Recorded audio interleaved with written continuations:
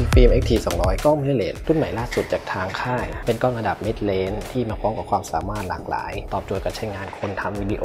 สำหรับตัวกล้องนะครับก็มาในรูปลักษณ์ของฟูจิก็คือจะเป็นสีดำล้วน ตัวนี้เราจะเห็นว่ามาพร้อมกับเลนส์ XC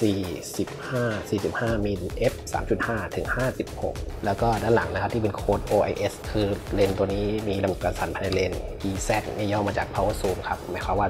เลนส์เนี่ยเป็นเลนส์สำหรับซูมไฟฟ้า ตัวนี้เป็นเลนส์ kit นะครับ สินค้าในกล่องก็จะมี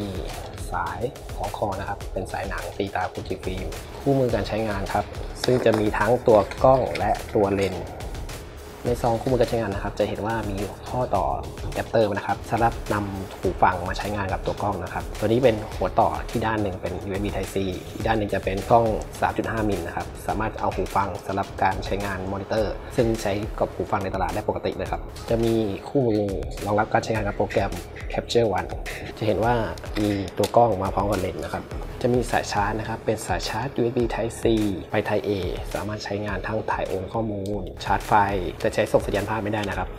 แล้วจะมาพร้อมแบตเตอรี่ครอบจักรวาลของฟูจิฟิล์มนะครับ ซึ่งสามารถใช้ด้วยกันได้ทั้งหมดทุกตัวในค่ายนะครับ คือแบตเตอรี่ NP-W126S นะครับ จะเห็นว่าตัวกล้องเนี่ยมาพร้อมกับเลนส์ kit ซึ่งเขาจะไม่ได้แถมฝาท้ายมาให้นะครับ จะมีเฉพาะฝาปิด body เท่านั้นเวลาประกอบก็ให้สังเกตจุดสีแดงนะครับที่อยู่บนเมาส์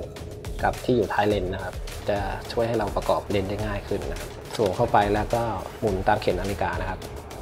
สำหรับเลนส์ตัวนี้นะครับ เป็นเลนส์ kit 15 มิลถึง 45เราจะเห็นว่าตัวเลนส์ใช้ฟิลเตอร์ขนาด 52 มิลนะครับ ตัวเลนส์จะไม่ทำงานจนกว่าเราจะเปิดกล้องนะครับ เพราะว่าตัวเลนส์เป็นเลนส์ไฟฟ้าเวลาปกติมันก็จะมาในลักษณะนี้นะครับ แต่ถ้าเปิดใช้งานเนี่ยมันจะยืดออกมานิดนึง ตัว X-T200 นะครับ มาพร้อมกับ grip ในตัวเลย ซึ่ง grip เนี่ยหนาพอสมควรครับ เวลาที่จับเนี่ยก็ถือว่ากระชับมือแล้วก็ใช้งานได้อย่างสะดวกเลยทีเดียว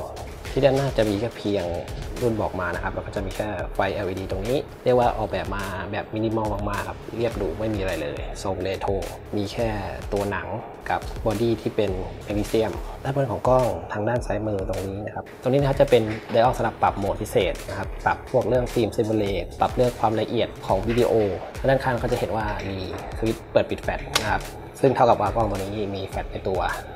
แฟลชรุ่นนี้นะครับไม่สามารถเบาได้นะครับ คือไม่สามารถปรับองศาได้ ด้านขวานะครับก็จะมี main dial ซึ่งสำหรับการปรับโหมดถ่ายภาพนะครับพว MASP ตัวนี้ด้านข้างนะครับก็จะเป็นไดอ l สำหรับปรับค่ามี2ไดอ l ไดอ l ตัวแรกจะอยู่ที่ปุ่มชัตเตอร์ครับอีกตัวหนึ่งจะอยู่ที่ด้านหลังปุ่มสวิตช์ปิดเปิดนะครับมีปุ่มบันทึกวิดีโอมีไมโครโฟน 2 จุดนะครับตรงนี้นอกจากนี้เราจะเห็นว่ามีช่อง Hot Shoe นะครับกล้องรุ่นนี้ไม่มีที่ปิด Hot Shoe แถมมาให้นะครับแนะนำว่าให้หาตัวอุปกรณ์มาปิดตรงนี้นะครับป้องกันความเสียหายของฮอตชูนะครับเพราะว่าตัวนี้เป็นขั้วไฟฟ้านะครับมันละเอียดอ่อน ต่อไปมาดูที่ด้านหลังกล้องนะครับ เราจะเห็นว่าตัวกล้องมาพร้อมกับหน้าจอขนาดใหญ่มาก เป็นหน้าจออัตราส่วน 16ต่อ9ขนาด 3.5 นิ้วครับ ซึ่งเป็นหน้าจอแบบ v a r i a n g l e นะครับทำให้เราสามารถพับจอมาเซลฟี่ได้ พับจอถ่ายมุมต่ำหรือมุมกดได้นะครับจอยสติ๊กนะครับสำหรับการเลือกค่าต่างๆ ด้านหน้าจอยสติ๊กจะมีปุ่ม menu OK ปุ่ม display กับปุ่ม back นะครับ ตรงนี้นะครับมีที่วางนิ้วโป้งนะครับ ซึ่งจะช่วยให้เวลาเราจับกล้องเนี่ยมันกระชับเข้ากับมือได้เป็นอย่างดี ปุ่มสำหรับการปรับโหมดบันทึกภาพนิ่งนะครับ แล้วก็เป็นปุ่มแสดงภาพที่ช่องมองภาพนะครับ จะมี dial สำหรับปรับค่าสายตา จะมีปุ่ม view mode นะครับสำหรับอยากให้ภาพแสดงที่ช่องมองภาพ หรือแสดงที่จอหลังนะครับ หรือสำหรับอัตโนมัติโดยใช้เซ็นเซอร์ที่อยู่ตรงช่องมองภาพตรงนี้นะครับ viewfinder ตัวนี้ไม่มี eyecup มาให้นะครับ จะมีแค่ยางครอบเอาไว้ แล้วก็ที่พิเศษสำหรับกล้องรุ่นนี้เราจะเห็นว่าสองปุ่มนี้นะครับเป็นปุ่ม custom ซึ่งเราจะสามารถไปตั้งค่าฟังก์ชันสำหรับตัวกล้องได้นะครับ อย่างเช่นการไปตั้ง film simulate ไปตั้งความละเอียดของวิดีโอนะครับ สามารถตั้งค่าได้ ด้านล่างมุมซ้ายเลยครับเรียบๆไม่มีอะไรเลยนอกจากลำโพงแล้วก็มีรูสกรูขนาดมาตรฐาน เราจะเห็นว่ารูสกรูเนี่ยไปอยู่ใกล้กับฝาปิดแบตเตอรี่นะครับซึ่งมันจะทำให้เวลาใช้งานเนี่ยลำบากนิดนึงเวลาเราที่เราติดตั้งกับขาตั้งนะครับตัวฝาตรงนี้นะครับมีช่องสำหรับต่อไฟ DC นะครับซึ่งเอาไว้ใช้งานในการใช้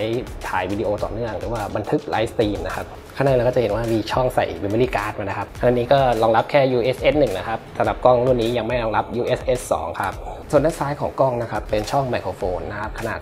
3.5 มิลเหมาะสำหรับการใช้งานกับไมโครโฟนที่อยู่ในตลาดได้เลยครับเราไปสามารถไปซื้อไมค์ขนาดทั่วไป หรือว่านำตัวอะแดปเตอร์มาแปลงขนาดไมค์6.1ไมค์ XLR ก็ใช้ได้นะครับด้านขวาก็เป็นแค่กริป กับพอร์ตเชื่อมต่อนะครับ มี micro HDMI นะครับสำหรับการส่งสัญญาณภาพออกไปนะครับ ใช้สำหรับเวลาต่อกับจอแสดงภาพ หรือว่าต่อกับอุปกรณ์ live stream นะครับ พวกการ์ด capture ช่อง USB Type C นะครับ ใช้ได้งานได้หลากหลายนะครับ ไม่ว่าจะเป็นการชาร์จไฟโอนถ่ายโอนข้อมูล หรือว่าต่ออะแดปเตอร์เป็นช่องต่อมอนิเตอร์เสียงนะครับสำหรับลูกค้าท่านใดที่สนใจสินค้า สามารถสอบถามในลิงก์ใต้วิดีโอได้เลยครับ